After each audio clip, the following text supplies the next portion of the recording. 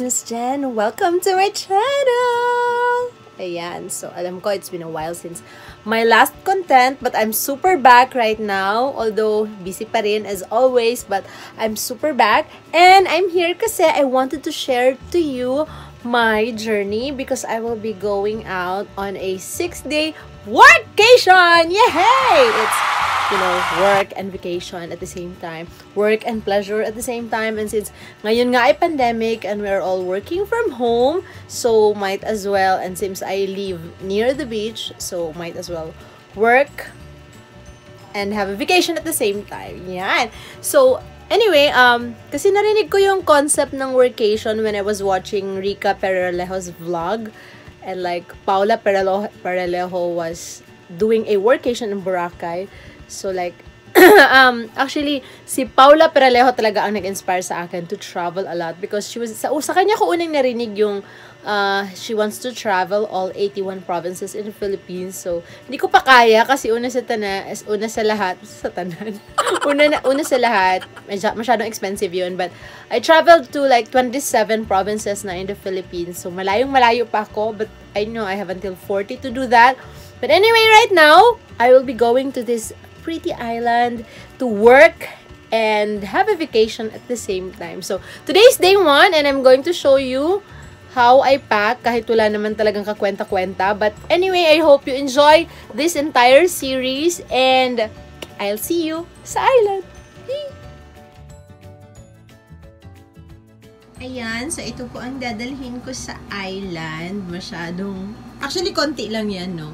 Uh, so I have three bags. One's for the clothes. This one's for my toiletries and makeup. Ito is for my laptop, mga things. So, ito lang din ko. I have one laptop, my iPad, and then I'll bring two power banks. And na din yung mga wires sa loob. This one's, ayusin ko pa yan. This one is the Wi-Fi. Wi-Fi, madala din akong Wi-Fi. And then, for the clothes, konti lang ang dala ko. Actually, yan lang. Konti lang to. Um, I have here work clothes, pero kasi during video call, ito sinusuot ko every day. And I have jacket, of course. And then shawl. And then mga shorts na yan. Cover up for swimsuit. Konti lang dala kong clothes, but I have, I brought plenty of swimsuit. That's like 10 sets. Super. And then, wow, mga underwear. And then I have mask here. Ito headband, mga sunnies. And then this is my uh, kikay kit na magulo. Sorry, magulo talaga siya. Kasi hindi ko na yun inaayos kasi magulo naman talaga. So, konti, pag mag, nagta-travel, konti lang dinadala ko. I have here, ito, sunscreen, ah, sorry, whitening and sunscreen, and then blush on, and then ang makeup lang talaga na dinadala ko ay mga pangkilay, pangkilay, and then lip balm. Lip balm and lipstick. So, I have here lip balm. Asa na ba yung isa? Oh, and then, pero I always, ayan, mga lipstick lang. But I always bring kasi brushes. And then ito, me meds, binigay ng mama ko. Sorry, magulo talaga to. And then this one's like mga earrings lang din na wala namang kwenta. So, I got this box from, I, I use this all the time. From Michelle D. Galing to dun sa libre ng kasamang uh, brush set na binili ko from Michelle D. Then this one, ito yung mga toiletries. Masyadong malaking lalagyan niya. So, I have here my perfume. May, ito mga pang tita.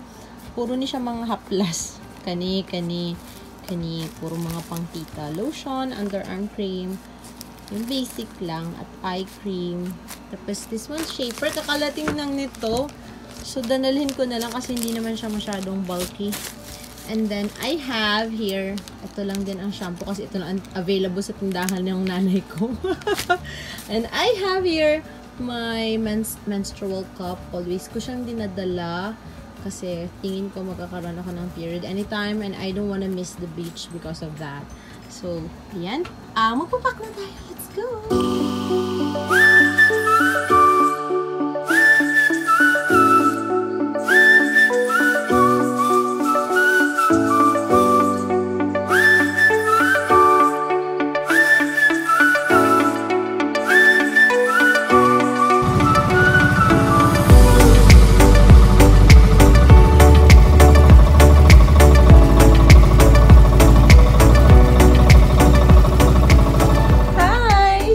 Kakarating ko lang. And I'm so happy. I've, been in this resort a million times and I still enjoy it. I love this resort. So this is my room. It's small kasi good for two lang talaga to. I'll, so, I'll tour you around this room. And kahit maliit lang siya. this is my room. Ito yung door kanina. Uh, and this is my view every morning. Yay! Oh. Okay. And this is my bed. Makapal siya. I love this bed. Bin, nakatulog na ako dito. Ayan, those are my bags. And they have two towels. I love two, two towels. And then merong trash can. And then we have a table there. And it's the image of uh, Jesus Christ on the cross. Kasi this is a diocesan owned by the diocese. And ayan. Ayan ang bathroom. Simple lang siya, but it's really nice. Nice and comfortable. So, ayan, nakita nyo na yung room. So, this is like my day one. And I need to set up my things and outside. So, see you later.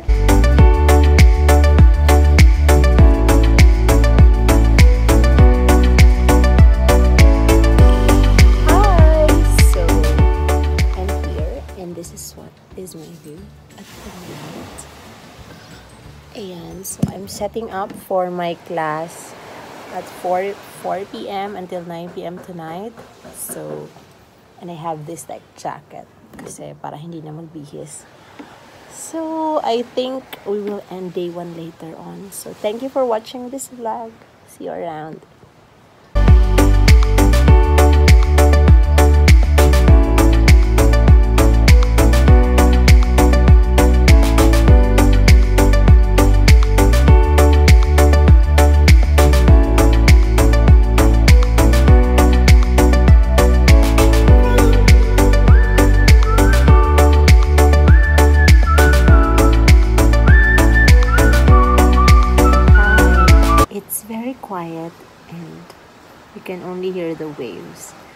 So I had two classes already today and it's done. It's done for the day. So I think day one's done.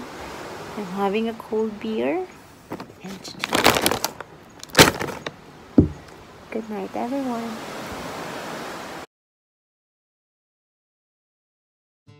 Good morning. Welcome to day two. It's currently 7 a.m. Beautiful, beautiful view of the beach. Morning.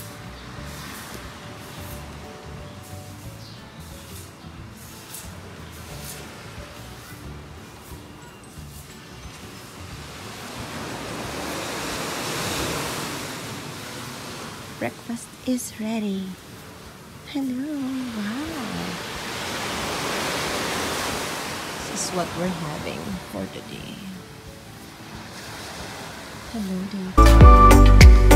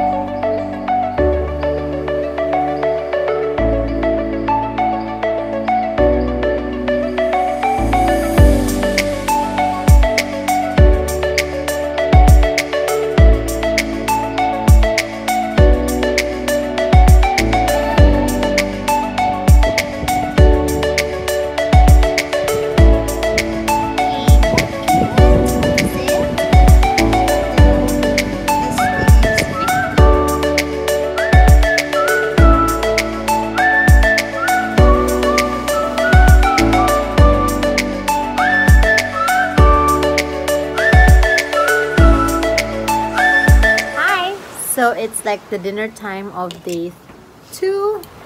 I'm currently here sa cottage having my dinner.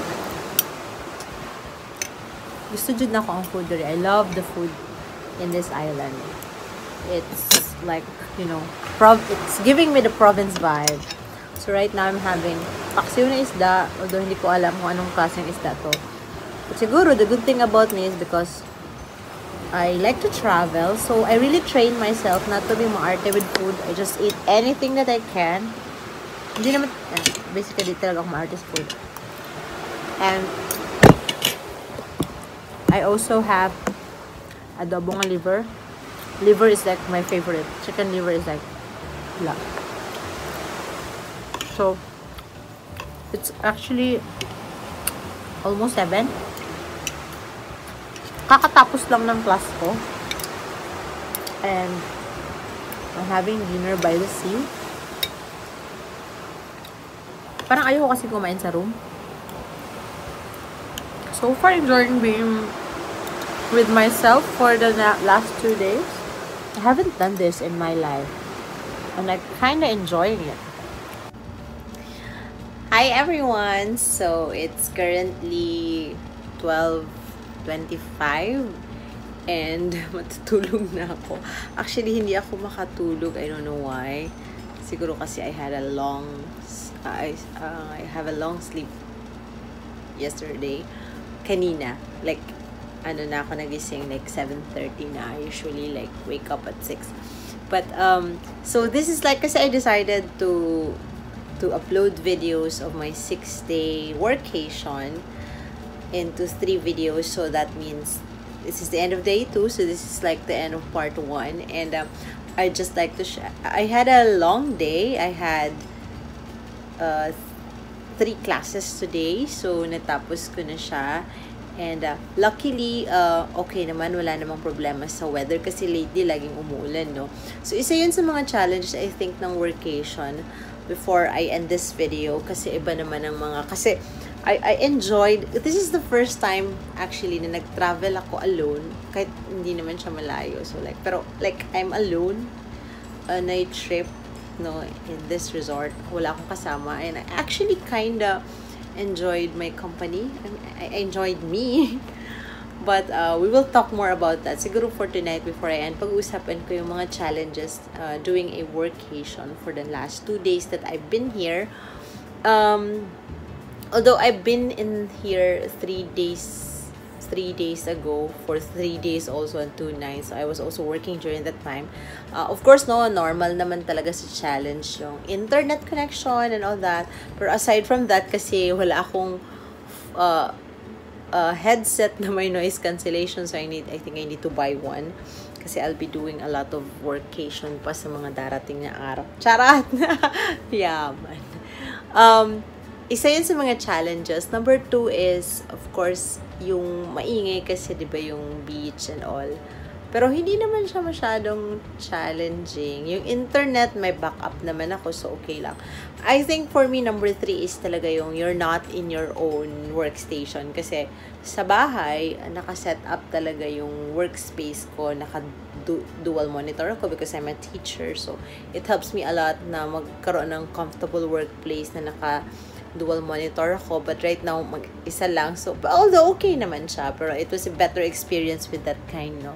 So, I'm, this is, since this is a retreat area, isa sa mga na-enjoy ko talaga yung mga uh, moments na yung sa, sa Bisaya, we call that nagtangha lang ka, no? because we don't have that kind of luxury with all the hustle that I do because I, I do a lot of work. Marami akong trabaho. Pero may mga times ako na ganun. So, ginagawa ko every before 5 p.m. ay naliligo talaga ako ng beach because I'm such a, para ano no, nakatira ako sa gilid ng dagat but I just can't get over beach. I love it kahit sunog ng mga skin and all that. So, I had a wonderful dip in the sea this afternoon kahit na medyo mahangin. And um, after that, my class kasi is at 5.40 so I was already waiting for my class to start. I was facing a beautiful sunset. Yan, makikita nyo dyan. Beautiful, beautiful sunset. Saglit lang lumabas yung ganong view. It was like, I think, 5 minutes, but it was really, really beautiful. So, um, for those who are planning to, to go on workation, kasi ako parang bigla lang kasi ito, no, hindi ko siya pinlano talaga. But I've been wanting to do this. And I'm so glad na nagawa ko siya talaga. So, yun, yun. I'm, tsaka, I think no, isa sa mga magandang bagay na nangyari sa akin sa trip na to kasi yung resort, meron silang inassign na one person sa akin to, para asikasuhin ako. So, hindi masyadong, although hindi naman ako masyadong maraming demands. Like, minsan lang, like, you need cold water and all that. Yan. Tapos, kasi kasama dun sa package ng aking workation, ang food, which is, for me, a big thing kasi dire-diretso ang class ko. So, I, I, hindi ko naisipin kung anong kakainin ko. So, yeah. So, this is the end of day 2. Thank you very much if you watch this far. Maraming maraming salamat. I hope you enjoyed it. And um, sorry kasi ganyan lang talaga muna tayo ngayon. Uh, I wasn't planning actually to vlog this, ano, kaya wala akong equipment kaya ganito. But um, I just realized that I really need to record this because this is the first time that I'm doing it. So maybe a year or two from now, when I look at this, parang wow, I did that, and it's it's right. It's a wonderful experience. So tomorrow, uh, I'll be walking around the the island because I've been in this island several several times, pero hindi ko pa siya naikot dun sa likod na part. So I'll be doing that tomorrow morning pag pag nagising ako because it's already 12 12:25. Yan, so I'll wake up early. Hopefully magising nga. And then I'll see you. I'll see you. Makikita niyo yung start ng day 3 on my next vlog. So see you on, on that next video.